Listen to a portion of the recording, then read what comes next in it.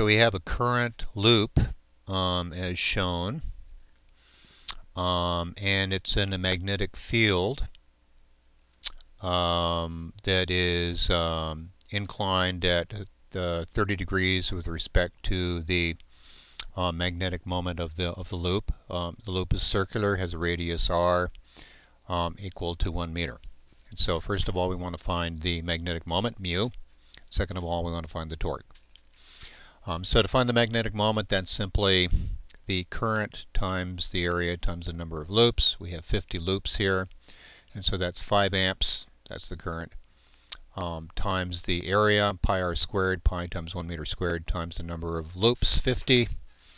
That works out to um, 785 uh, amp meters squared for mu. Um, to find tau now, tau is the torque is the magnetic moment times b times the sine of the angle in between them. So that's um, 785 uh, amp meters squared times a quarter of a Tesla. That's the value for uh, B times the sine of 30 degrees, which is one half.